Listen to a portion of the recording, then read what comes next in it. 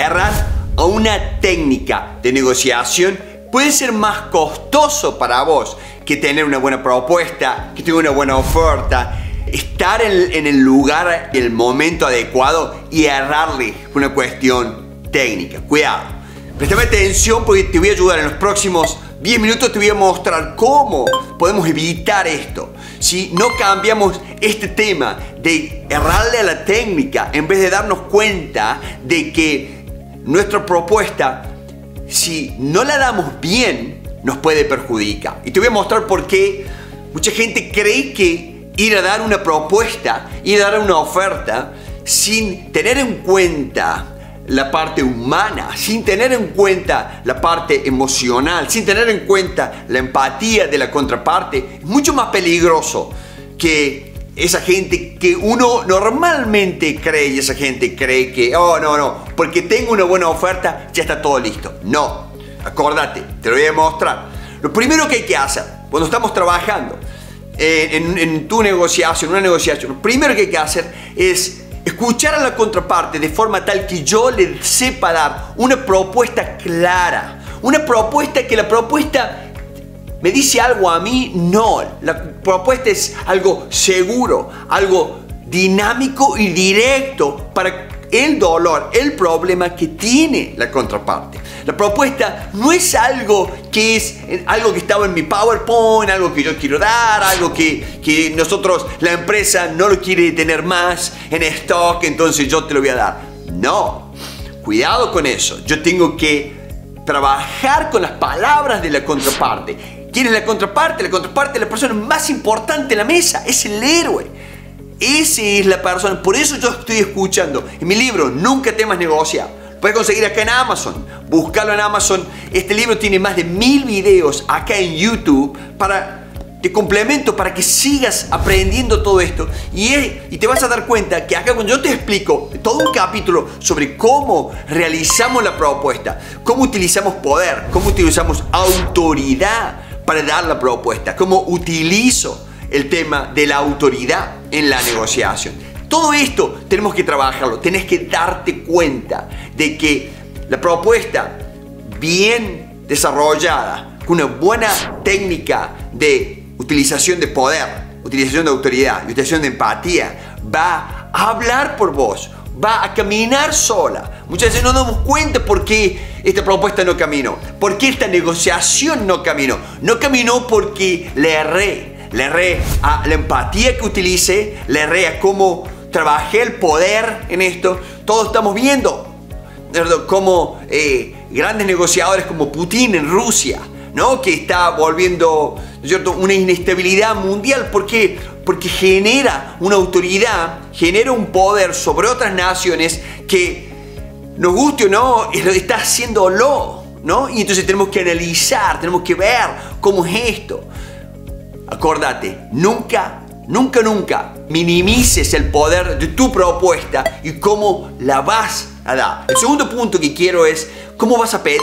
Siempre que uno tiene una buena propuesta, lo que hace es directamente va y pide. Y pedí sin miedo, pedí con autoridad, pedí sin ese eh, eh, incertidumbre de que me van a decir que no. No le tengas miedo al no.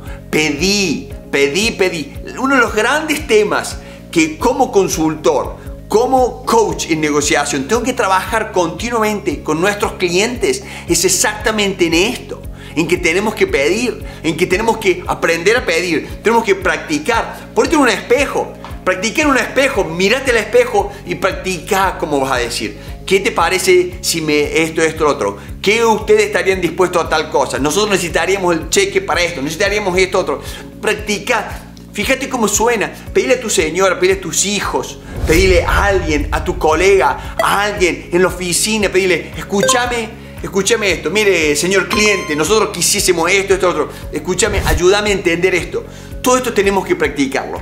Tenemos que verlo y es la clave del éxito. La clave del éxito está en que nosotros en algún momento en la negociación tenemos que pedir. No te olvides No te olvides, por favor, porque eh, acá abajo tenés una hoja con las 10 preguntas más importantes que uno utiliza para prepararse, ¿no? En toda preparación. Entonces, cuando bajar acá, es totalmente gratis para, para toda la gente de nuestro canal. Y esa hoja te ayuda a darte cuenta que estas son las cosas que yo quiero. Y cuando estoy en la negociación, tiene que haber cosas que vos no sepas. Los, mejores negociadores son los exploradores, los que van a descubrir lo que pasa. ¿Y quién descubre sin pedir? ¿Mm? Entonces tenemos que ir a pedir, tenemos que ir a preguntar. Acá en el libro Nunca temas negociar tenés más de 110 preguntas clarísimas y preguntas generales que van a ayudarte a mostrarte una persona inteligente, interesante. Un gran general aquí en los Estados Unidos dice, si quieres ser interesante, muéstrate interesado. Qué bueno eso, ¿no? Pensalo. Si yo quiero ser interesante, si quiero captar la atención de la contraparte, si quiero influir, si quiero persuadir, me tengo que mostrar interesado. No tengo que mostrarme, no tengo que hacerme el, el agrandado, no tengo que mostrarme de más. Ahí está el secreto. Busca las 10 las 110 preguntas están acá y todo un capítulo de preguntas porque nos damos cuenta más y más después de 20 años, 20 plus, 20, no, quiero decir la edad, eh, pero eh, la, importancia que tiene este tema de la negociación, saber preguntar, saber tener calma, saber manejar mis emociones cuando pido, porque si el otro reacciona y yo no, no, no actúo con calma, y a la reacción del otro, oh, ¿qué estás haciendo? ¿Ah, sí? ¿Me decís eso? ¿Y a dónde vamos así? No, pues estás acá en este canal para aprender mucho más que eso. Trabajemos en esto porque la persona que negocia bien utiliza la negociación hasta el, final de su vida. La negociación es para siempre. Estás aprendiendo una de las habilidades claves, estratégicas de todo líder. Saber pedir, saber preguntar, saber hacer una propuesta, saber hacer que la gente participe. Eso es el gran beneficio de saber negociar. Este libro te va a servir para toda tu vida, para toda tu vida, en todo, no solo en el trabajo, sino en la vida personal. Te invito a que trabajes tu propuesta muy bien, a que pidas y te voy a dar este tercer punto. Este tercer punto está conmigo porque estate porque vas a ver lo importante y la ayuda que te va a dar. Tercer punto, no está acá en el libro, por eso quiero que prestes atención en esto, es que nosotros tenemos que identificar, escuchar, hacer contacto. La parte corporal es importantísima en toda negociación. Hacer contacto visual. Ayudar a que la persona se sienta cómodo. ¿Por qué? Porque la primera impresión en toda negociación vale muchísimo. Vale muchísimo. O sea, yo quiero que te muestres cuando das la propuesta, cuando haces estas preguntas, cuando investigas sobre la necesidad, cuando investigas sobre el problema, cuando investigas sobre qué le parece si hacemos el negocio ahora o no. Esa primera impresión que ellos tuvieron de vos en el tema de la ropa, en el tema de la forma en que hablaste, todo eso va a ir sumando, va a ir sumando más de lo que nosotros nos damos cuenta. Hay mucha gente que cree o no cree que va a hacer negocio contigo, pero por lo único que sigue en la discusión o en la charla o en la negociación o en la reunión es porque le diste una muy buena impresión. Entonces, controla el perfume, cómo olés en la negociación es importante fundamentalmente si estamos en un cuarto. Obviamente que online, online, eh, qué hay en tu background, en la parte de atrás, cómo te comunicas, entraste en, tiempo o no, o te demoraste. Hay gente que no se da cuenta de eso. Eh, el, respeto.